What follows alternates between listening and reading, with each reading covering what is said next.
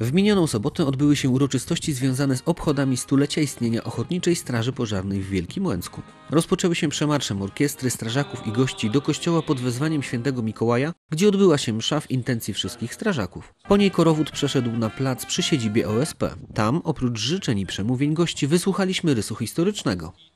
Jednostka została założona w 1917 roku z, i dziś, dzisiaj się spotykamy na jubileuszu stulecia i obchodów Dnia Strażaka w miejscowości Wielki Łęc, gmina Płośnica, powiat działdowski.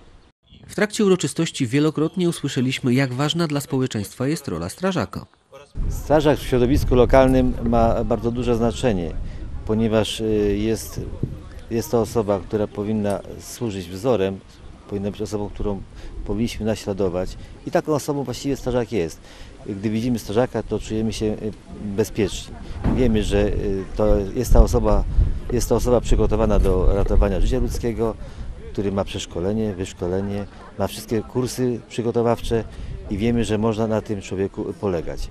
Jak wielkie to poświęcenie wiedzą chyba tylko sami strażacy i ich rodziny. Taka praca strażaka w jednostce to jest różnie. Czasami się wyjeżdża w nocy, czasami w dzień. Mm, Czasami się zostawia swoją robotę, a się jedzie, bo trzeba jechać, bo minimum jest sekcja sześcioosobowa na składzie, no to tam tych czterech, pię- pięciu to najmniej musi być. Gminne władze starają się wspierać strażaków, dokupując niezbędny sprzęt i poprawiając stan remis. Każda jednostka, y, która jest na terenie gminy Płośnica, jest wyposażona w sprzęt różnego rodzaju. Y, Sprzęt coraz to jest lepszej, lepszej jakości, mamy coraz to lepsze samochody i dbamy o to, żeby y, naszym strażakom, którzy wyjeżdżają do akcji, nic się nie stało. Wiadomo, zakup sprzętu, ale także podstawowy sprzęt, czyli rękawice, obuwie, hełmy, które są bardzo potrzebne w działaniach ratowniczo-gaśniczych. Też staramy się, żeby y, remizy, które są właściwie na stanie gminy, ale są w użytkowaniu strażaków, wyglądały coraz to lepiej. Staramy się y, pozyskać środki unijne. W tej chwili czekamy na ocenę y, projektów, które zostały złożone w Urzędzie Marszałkowskim.